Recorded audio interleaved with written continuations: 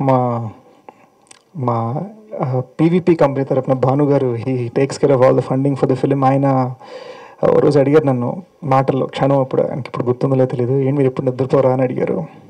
And దానికి reason ఏంటంటే అండి నాకు నేను కాలిఫోర్నియా నుంచి వచ్చానండి కానీ నాకు కృష్ణానగర్ కష్టాలు ఉన్నాయి మేము నా చైల్డ్హుడ్ ఎటువంటిదంటే మేము అమెరికా వెళ్ళే టైంకి కరెక్ట్గా ఇక్కడ వెళ్ళక ముందు ఒక రెస్టారెంట్కి వెళ్ళి తినడానికి కూడా డబ్బులు ఇవ్వండి మా దగ్గర.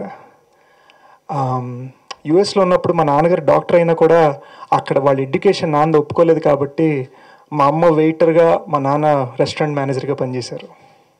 సో అక్కడ కూడా నాకు బట్టలు కొనుక్కోవడానికి డబ్బులు లేకుండా యుఎస్లో సో అంత కష్టపడి మా పేరెంట్స్ నన్ను పెంచారండి.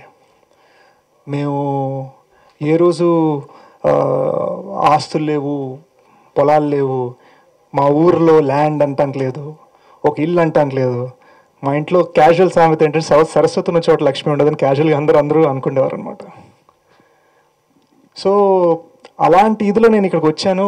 ఇక్కడికి వచ్చిన తర్వాత నా ఇంగ్లీష్ వాకింగ్ టాకింగ్కి అండ్ ఈ ఫేస్ కట్కి అందరూ అక్కడేదో ల్యాంబర్గినీలు ఫెరారీలు తోలుకుంటూ మధ్య మధ్యలో వెకేషన్కి ఇండియా వస్తాడు. ఇలా మన మధ్యలో తిరుగుతూ ఉంటాడని అనుకున్నారు. అండ్ ఫ్రాంక్గా చెప్పాలంటే అది నేను అనుకొని ఇచ్చాను నాకు అవకాశాలు రావాలని చెప్పి. పది మంది పెద్ద మనుషుల మధ్యలో కూర్చున్నప్పుడు వాళ్ళు ఏ వాచ్ కొనాలో డిస్కస్ చేస్తున్నప్పుడు నా జేబులో వచ్చే నెల కట్టడానికి ఐదు వేలు లేదు అద్దె కట్టడానికి డబ్బులు లేవు అని చెప్పుకోలేని పరిస్థితి. అయినా కూడా వాళ్ళ మధ్యలో ఇంగ్లీష్ వాకింగ్ టాకింగ్లు ఫేస్ కట్లతోటి మేనేజ్ చేశాను అనమాట పంజాబ్ తర్వాత కూడా నా పరిస్థితి ఇంత. అయితే పంజా తర్వాత చాలామంది ఇండస్ట్రీలో పెద్ద మనుషులు అంటారు కానీ మా సోషల్ సర్కిల్లో పెద్ద మనుషులు రే ఇప్పుడు నీకు విలన్గా ఫాలోయింగ్ వచ్చింది ఇప్పుడు నువ్వు హీరోగా మారాలి హీరోగా మారాలి హీరో అంటే ఇలా చేస్తాడు హీరో అంటే ఇలా కామెడీ చేస్తాడు ఇలా పాటలు చేస్తాడు ఇలా డ్యాన్స్ చేస్తాడు ఇది అది అని చెప్పి నేను కిస్ అని సినిమా చేశానండి. ఆ సినిమాకి నేనే పర్సనల్గా నా క్రెడిబిలిటీ మీద రెండు మూడు కోట్లు అప్పు చేయడం జరిగింది. అయితే నేను ప్రతి ఇంటర్వ్యూలో అంటే నీ పాటికి పాత ఓల్డ్ న్యూస్ అయిపోయి ఉండొచ్చు కానీ ఆ సినిమాకి పోస్టర్ ఖర్చు కాదు కదా పోస్టర్ని అంటించడానికి వాడే మైదా పిండి ఖర్చు కూడా రాలా? సో మార్నింగ్ షోకి మ్యాట్ని షోకి మధ్యలో డిస్ట్రిబ్యూటర్ నుంచి ఫోన్ వచ్చింది. అమ్మా total two and half three crores పోద్ది అన్నారు. జేబులో పది లేని పదివేలు లేని క్యాండిడేట్కి ఇప్పుడు అర్జెంటుగా రెండు మూడు కోట్లు కట్టాలి అని ఇది వచ్చిందండి. కొంతమంది అప్పుగా డబ్బులు ఇచ్చిన వాళ్ళు పోలీసుల చేత ఫోన్ చేయించడం జరిగింది. నేను ఇండియాలో ఆటో కూడా ఎలా తీసుకోవాలో తెలియని నేను ఇండియాలో ఒక రోడ్ కూడా క్రాస్ ఎలా చేయాలో తెలియని నేను ఒక సమయంలో ఢిల్లీ పోలీస్ స్టేషన్లో పది మంది పోలీస్ ఆఫీసర్లు చేతిలో లాఠీలు పట్టుకొని ఎప్పుడు డబ్బులు ఇస్తావు? అని నన్ను బెదిరించడం జరిగింది. అక్కడి నుంచి స్టార్ట్ అయిందండి వర్జన్ టూ పాయింట్ జీరో. నేను అప్పటికప్పుడు నేను ఒక డెసిషన్ తీసుకున్నాను. మనసుకి నచ్చింది మాత్రమే చేస్తాను.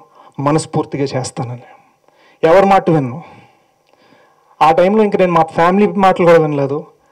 ఆ టైంలో పీవీ గారు లక్కీగా నమ్మారు. క్షణం సినిమా జరిగింది. అక్కడి నుంచి ప్రయాణం మొదలైందండి. Two point zero.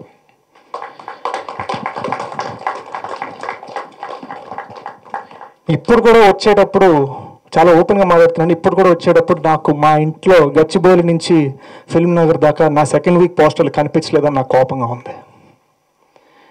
నాకు అంత ముఖ్యం సినిమా నిలబడటం అని. ఎందుకంటే సినిమా నిలబడితేనే అందరూ మాట్లాడుకుంటారు. సినిమా నిలబడితేనే మళ్ళొకసారి నేను పోలీస్ స్టేషన్లో అడుగు పెట్టను. సో ఇప్పుడు ఇవాళ మార్నింగ్ నేను లేవగానే అందరూ కొన్ని న్యూస్ ఆర్టికల్స్ వచ్చాయి కొన్ని వెబ్సైట్ ఆర్టికల్స్ వచ్చాయి. చెప్పారు అరే four films uh, hit uh, in row minimum guarantee hero నమ్మచ్చు. నాకు లోపల వచ్చిన ఫీలింగ్ ఏంటంటే అండి నన్ను ఎవరు నమ్మని రోజునే కదా పోలీసులు వచ్చారు ఇప్పుడు అందరూ నమ్ముతున్నారు.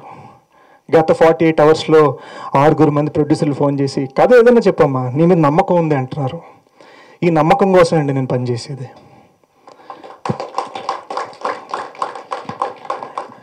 నిజంగా ఆ డబ్బు లేని సమయంలో నాకు ఉన్నది ఒక్కరే అండి అది అబ్బూర్ గారు. ఆ టైంలో నన్ను లిటరల్గా నిలబెట్టారు. అందరూ అంటారు కదా స్టార్ కిడ్స్కి బ్యాక్గ్రౌండ్ అని. నాకు ఒక బ్యాక్గ్రౌండ్ ఉందండి అది అబ్బూర్ గారు. ఎందుకంటే పంజాబ్ డైలాగ్స్ రాసింది ఆయనే. పంజాబ్లో ఉన్న క్యారెక్టరైజేషన్ని ఎలివేట్ చేసింది ఆయనే. క్షణం డైలాగ్స్ స్క్రిప్ట్ గైడెన్స్ ఇచ్చింది ఆయనే. గోరచారి డైలాగ్ స్క్రిప్ట్ గైడెన్స్ ఇచ్చింది ఆయన. ఎవరు డైలాగ్ స్క్రిప్ట్ గైడెన్స్ ఇచ్చింది ఆయనే. లిటరల్గా నా కెరీర్ నిలబెట్టారండి. ఆయన లేకుండా జెన్యున్గా నేను నమ్ముతుంది ఈ రోజున నేను టీఎఫ్ఐలో లేను. అండ్ ఇప్పుడు ఎవరు తర్వాత I'm going to make my Hindi debut అదండి జర్నీ అది గ్రాఫ్ చాలామందికి చాలా చాలా పర్సనల్ కష్టాలు ఉంటాయి. నేను జస్ట్ ఇప్పుడు చెప్పుకోలేదు కాబట్టి జస్ట్ ఆనెస్ట్గా చెప్పుకుందాం అనుకుంటున్నాను అంతే. అందుకని ఇంకేం లేదు. నాకు I'm not interested in thrilling star budget star and all these other stars I'm only interested in good cinema నా కోరిక ఏంటంటే నేను చనిపోయిన తర్వాత కూడా గుడ్ సినిమా శేష్ అనాలండి. అతనంటే సినిమా బాగుంటుంది. ఆ జనాలు ఫిక్స్ అవ్వాలి. నమ్మాలి. నాకు నాకు ఫ్యాన్స్ వద్దు పూలదండలు వద్దు పాలాభిషేకాలు వద్దు కట్అవుట్లు వద్దు. నాకు మంచి సినిమా కావాలి. ఎందుకంటే మంచి సినిమాని అందరికీ ఆనందం ఇస్తుంది. మనిషి సినిమాని స్పాట్ బాయ్ నుంచి డిస్ట్రిబ్యూటర్ దాకా డిస్ట్రిబ్యూటర్ నుంచి ప్రొడ్యూసర్ దాకా ప్రొడ్యూసర్ నుంచి హీరోయిన్ దాకా హీరోయిన్ నుంచి ప్రేక్షకుల దాకా అందరికీ ఆనందం ఇస్తుంది. ఈ రోజున ఎవరు మంచి సినిమా అని అందరూ అంటున్నారు? ఈ రోజున ఎవరు as of yesterday all distributors world wide break even అయిపోయారు. ఈ సెకండ్ వీకెండ్ నుంచి వచ్చే ప్రతి రూపాయి ప్రొడ్యూసర్కి డిస్ట్రిబ్యూటర్లకి ఎగ్జిబిటర్స్కి థియేటర్ ఓనర్స్కి సైకిల్ స్టాండ్ వాళ్ళకి profit thank you so much ఏంటండి? వీడియో నచ్చిందా? అయితే ఓ లైక్ వేసుకోండి. లేదంటే ఓ కామెంట్ చేయండి. ఎప్పటికప్పుడు మా వీడియోస్ చూడాలంటే సబ్స్క్రైబ్ చేసుకోండి.